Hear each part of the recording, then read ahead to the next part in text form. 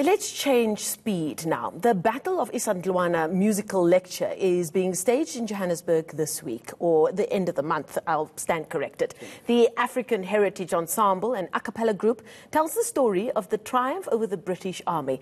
In 1879, Zulu forces overwhelmed British soldiers in what is now KwaZulu-Natal. It was the first of the Anglo-Zulu Wars. Now, veteran singer and songwriter Mbuso Khoza joins me now here in the studio to tell us more about his musical commemoration. Mbuso, thank you so much for joining us on this Sunday. Let's just get that correct. Which date is the musical lecture taking place? Uh, 25th of January. The 25th of January. Uh, now, um, yes, now many people will now be um, watching this and they hear the date 1879.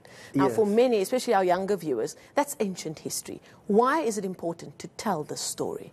I mean, what we are today is an interplay uh, between the past. So the present uh, interplays with the past. So the, there's no way that you can keep moving mm. without knowing where you come from.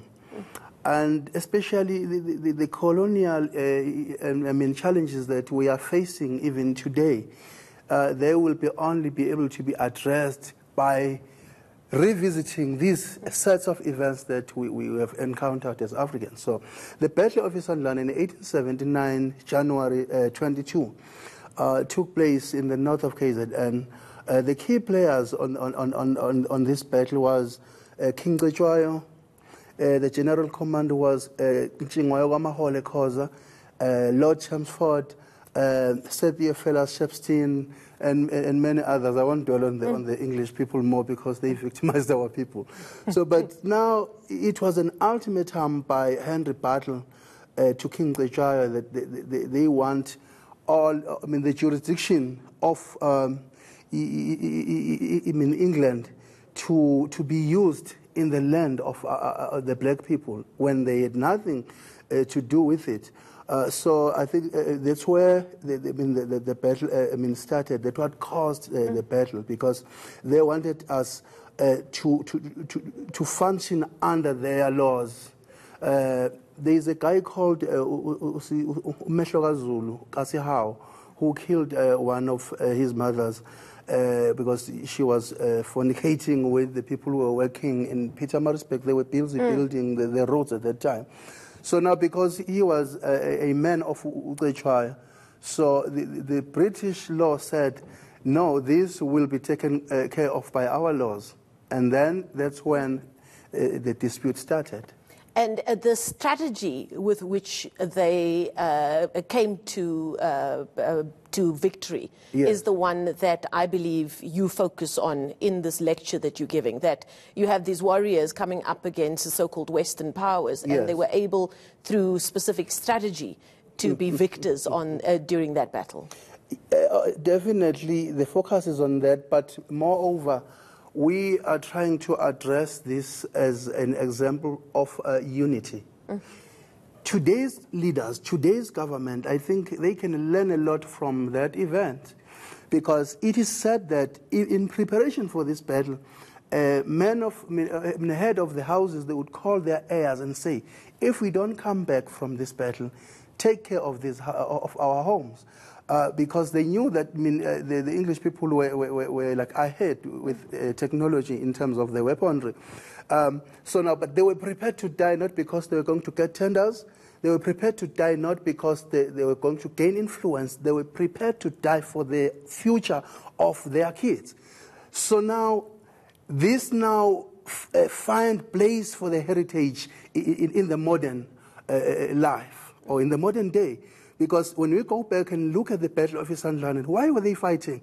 It's because the land, they're protecting the land, they're protecting their language. Because once you, you, you can't speak your language, you're dead.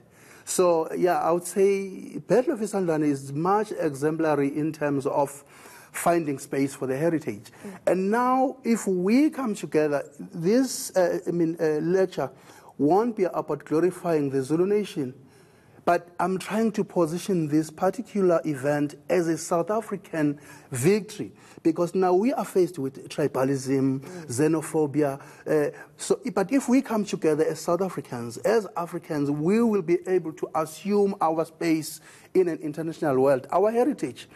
I mean, our culture will produce heritage that will be consumed by the world.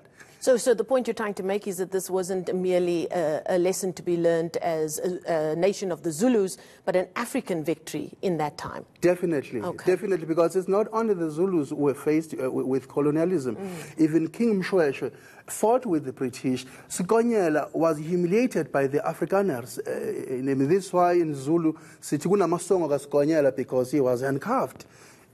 So uh, uh, the uh, tradition of storytelling is one of the most um, ancient skills yes. on the African continent. You've decided to use music to tell this specific story. The um, African, uh, your Afrikan Heritage Ensemble uh, uses a cappella music. Yes. So that is the tradition of song without music. Why did you decide that this would be a great way to tell this story? Music is a natural drug. Uh, I mean, if, if, I were to sit here and narrate history, I'm, I'm sure some of the, the, the, the, viewers will sleep. But if I were to come with the Afrikan Heritage Ensemble and sit here and say, in 1816, King Shaka composed this song, it will fascinate the listener.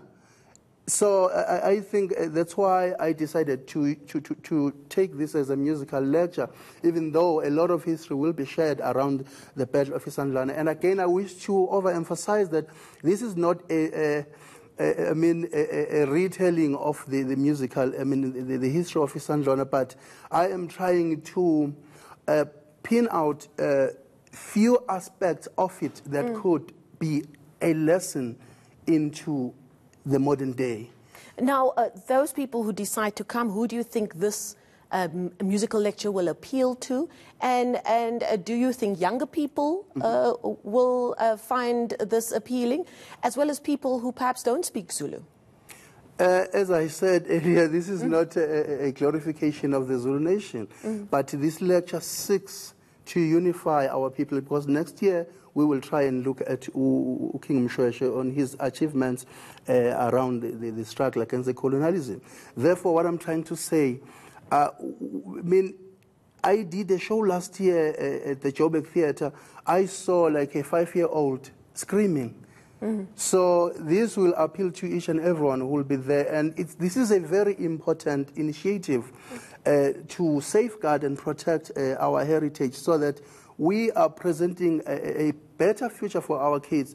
If you look at how Americans have achieved, I mean, this, look at Beyonce, look at uh, the music of the slave, swing low, swing low, come, you know. But if you check on how they used to sing this music in the older day, they would like, oh, oh yeah, the, the older man. But if, if you listen to R&B, gospel, you listen to blues. That's where the still, roots are. They still have those roots. But mm. in Africa, we, we, we, we, don't, we don't hear Mikorotlo or Huhobela from Abesud. We don't hear Amahubo in, in, in the music of today. It's so American influenced. So mm. this initiative will at least leave an archive for our kids. I think that's, that's the best we can do for our kids, not to fight against each other as the elections are coming. But to celebrate each other. But to celebrate each other. And another thing, we should uh, abstain from trying to uh, accept difference. You're an Indian, you're, you're a colored. Mm-hmm. We need to celebrate difference. Mm-hmm. And music is just a fantastic way to do exactly, that. Exactly. So, just very quickly before I let you go, mm-hmm. the details for this Afrikan Heritage Ensemble musical lecture, the 25th of January, where? At the Joburg Theatre from half past seven in the evening. Okay, fantastic. 1900. Yes. We'll be sure to keep people updated on that. Thank you so much for your time and all the best with the important work that you're doing telling our stories. Thank you so much. People can catch Umbuso Khoza on Instagram and Facebook as well so that we can continue with this uh, particular uh, topic. Fantastic. Thank you so much for coming in. That's